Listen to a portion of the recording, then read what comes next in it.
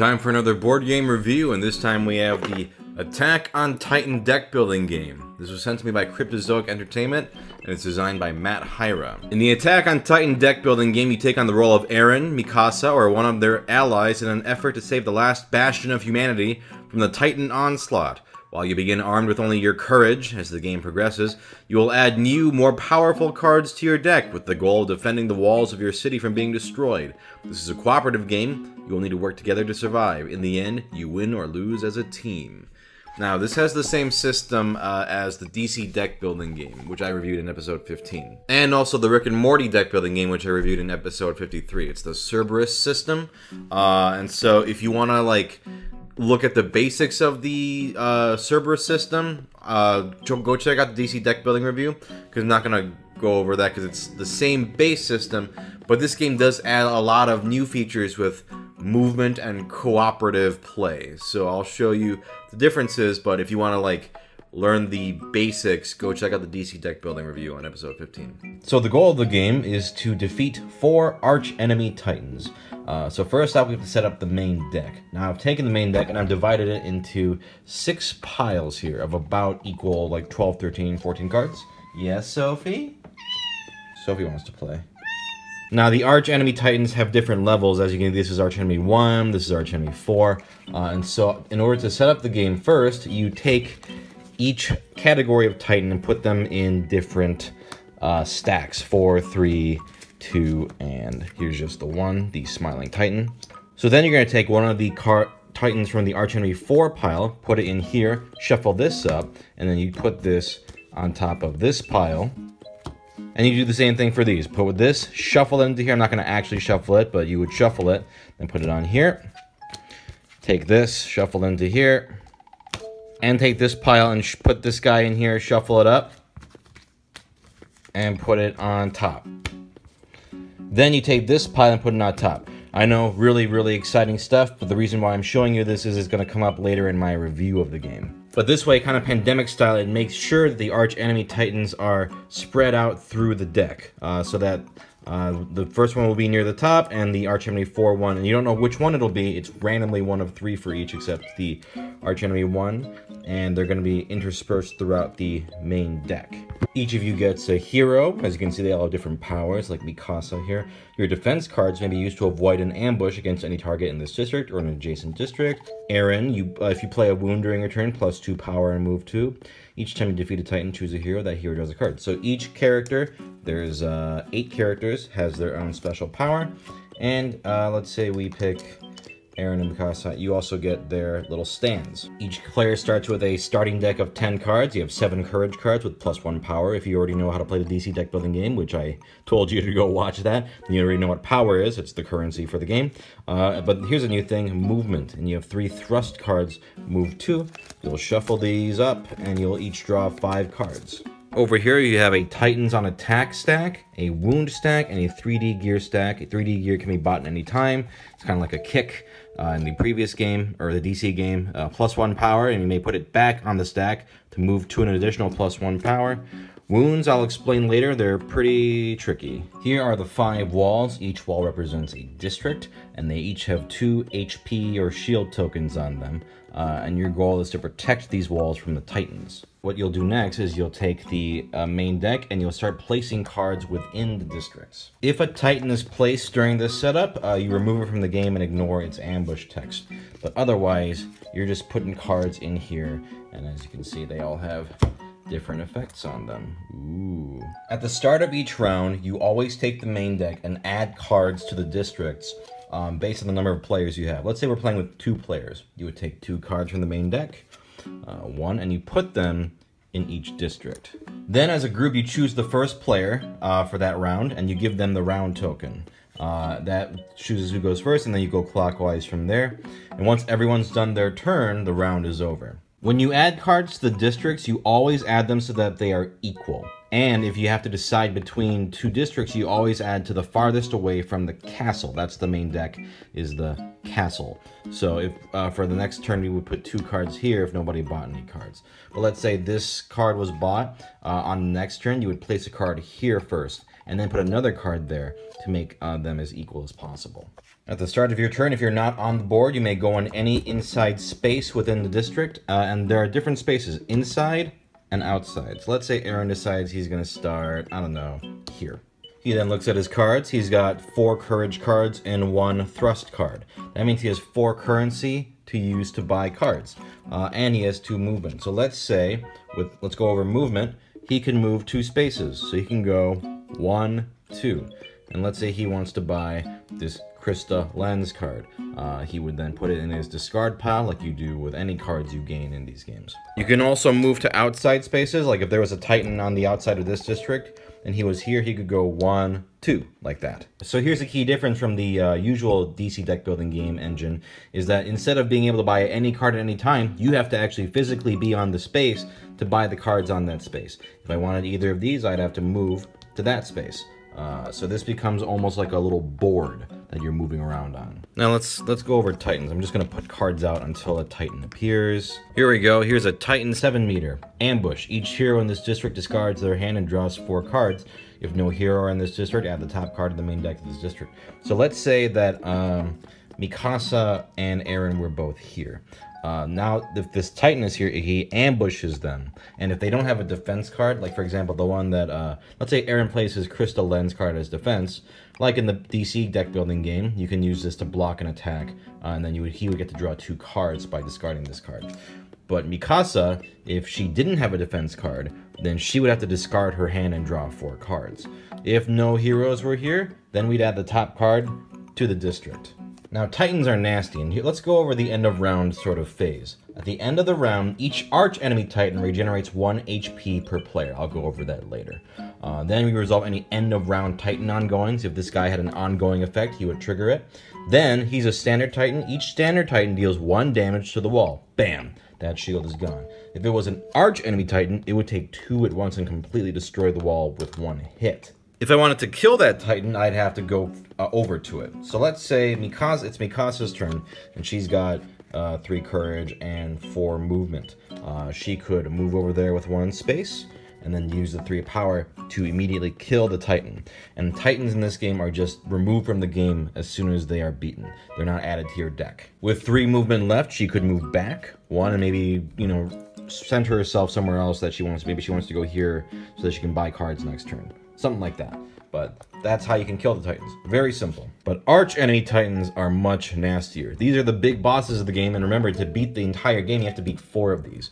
And this guy is the Smiling Titan. His ongoing effect is at the end of each round, each hero in this space must reveal a move card or gain a wound. Wounds are real nasty. I'll go over that in a second. And as you can see on here, not only does he have a cost, like most cards do to beat them, uh, but in this case, he has 13 HP. You actually have to deal damage to him first before you can even try to kill him. So let's fight this arch enemy Titan. Let's say on Eren's turn, he has four movement and three power. So he moves, uh, let's say, one, two, three. Um, and then he decides to damage it. Uh, he would then do three damage to the Titan, like so.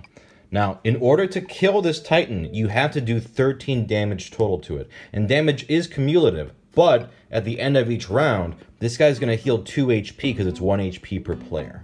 Some cards do only damage to certain titans. So let's say Mikasa has this hand, and she has 3 power, and then she has the cannon, which is 3 power and 5 damage to each arch enemy titan in this district. So if Mikasa was here, she could go 1, 2 up to the titan, uh, use 6 power to hit it, and then 5 more power. Now the titan has 13 damage on it, and it's ready to kill. Now, if Eren and Mikasa were not able to beat this Titan and are still on this space, then at the end of this round, not only is this Titan going to heal 2 HP because there's two players, but now each of them has to reveal a move card or gain a wound, and that's really that's really shitty. Let's go over what a wound is. A wound is a card where during your turn, you have to play wound cards before playing other cards. They're an ongoing card, which means they stay in front of you. And if you play or gain another wound, you die. Your character just straight up dies. At the start of your turn, you can discard a wound you control for your next turn. So these are really, really bad. I'll explain how you get these uh, later, but one way is through Titan ongoing effects. But let's pretend that there's 13 damage on it, and let's say Mikasa did it, and Eren still has a turn. Then Eren has a chance to kill it. To kill it, he's got to match the cost, which is at least 6. Now, Eren this turn has his, ooh, look at that. He's got his kill shot card, which if he shares a space with the Titan, is plus 7 power. So 8, 9, 10. He's got 11 power. That's more than enough. Now, he has a choice here. He has to decide how much power he's going to use to fight this Titan. And the reason why that's important is that if he fails to beat the Titan, he loses all that power no matter what. Um, and I have to explain the next mechanic, which is when you fight an arch enemy Titan, not only do you have to match the cost, you have to pull a Titans on attack card. This is going to add some kind of bonus to the Titan. And if you don't have enough power after this card's revealed, your attack completely fails. So let's say Eren says, yep, I'm going to do 11 power, and let's see what happens. So this guy's got 6 cost. He has a 13 damage, so he's ready to be killed. And our card is Eat. Uh, destroy an ally you played this turn. Now, none of the cards were allies. So, in this case, Eren's attack is successful. He has killed the Titan and it's removed from the game and you're one step closer to winning. But even though he had five power left over he didn't use, all that power is gone because uh, you have to do that when you declare a kill. Now in this case he was lucky, but there are some really nasty cards in this game, like Smile, add five to the cost. So you might you want to pledge as much power as you are willing to give because you really want to make sure you kill that Titan. Because like I said before, this guy does 2 damage to a wall at the end of each round, and that's an instant destruction of a wall. Now, that's pretty brutal, but there is a way to mitigate damage against a wall. Let's say that uh, Eren and Mikasa were both on this space, and at the end of the round, the Smiling Titan is about to attack this wall. Both Eren and Mikasa decide we're going to take a wound each to block it, because what you can do is for each damage you're blocking, you take a wound into your discard pile. So, since they're both on the same space as this Titan, they could both take a wound and the wall would be protected. But, if they draw two wounds on one turn, or um, gain a wound on the same turn they won't control a wound, their character dies. If a wall is destroyed, you remove it from the game, and you also destroy any cards that were in that district forever. Then you close up the gap, and now you have four walls to protect. And this Titan doesn't stop. He actually just moves over to the next adjacent wall. So he's still there chomping away. Here's how you win the game. If you defeat all four arch enemy titans that are in your castle, the game ends and your team wins. However, you lose immediately if one of the three following conditions is met. If you run out of walls, you're dead. If you run out of cards in the deck, basically meaning you can't add a card to a district, you're dead. And if three heroes die in a two to three player game, you're dead. If it's a four to five player game, if two heroes die, you're dead. When your hero dies, you place all wounds you control in your discard pile back on the wound stack, destroy all cards in your hand and any other cards you control, grab a new character, and uh, you start over. Uh, you keep your same deck and have a new character. There's some other stuff I'm not necessarily going to go over the entire thing, like for example, locations are cards that you can play on certain districts. Like this one would give you an extra wall token. Uh, heroes in this district may use this. Uh, you can also use an extra effect like pay two movement to move a titan to this district. Uh, I'll just go over some of the other cards here. Here's here's a reel in, move one, and choose a hero in this district to draw a card and discard a card um, Signal Flare. Uh, it's a defense card, but it also can let each other hero move one space if they need extra movement. Uh, here's Bertolt Hoover. He, uh, move, he lets you move two, and it's a plus three power. Um, here's another location card. Uh, heroes in this district may use this card anytime, uh, and it also lets you discard a move card to avoid an ambush. Lots of different cards in the game. I'm not going to go through every single one, especially because if you've played the DC deck building game, you know what kind of cards there are. But there are some interesting cards up with movement and with locations that uh, make this selection of cards a little more interesting. But otherwise, that's pretty much the game. Just uh, run around, kill those titans, make sure these guys uh, don't bite your walls too bad, and if you can kill all four of the big boys, you win. Alright, so if you've watched my reviews of the DC deck building game, the Rick and Morty deck building game, you know that I like the Cerberus engine a lot. It's simple, uh, but it's fun, and it's satisfying deck building. Um, but let's dive into the new mechanics. Thematically, the game is strong. Uh, the co-op is actually pretty satisfying and strategic. It really does matter like who goes first, especially because of the archenemy titans like HP system of okay, well if you can get the HP or the damage at this point, then I can go in for the kill uh, and also the Titans damaging the wall. It always feels like a real threat. It really feels like an Attack on Titan game. My biggest problem with the game, though, is that the, the distribution of Titans in the deck, I'm not talking about arch enemy Titans, but regular red Titans, can really affect how much of a chance you'll have at winning at all. Uh, if you're super unlucky, like we were in some playthroughs, you'll stand absolutely no chance from the start.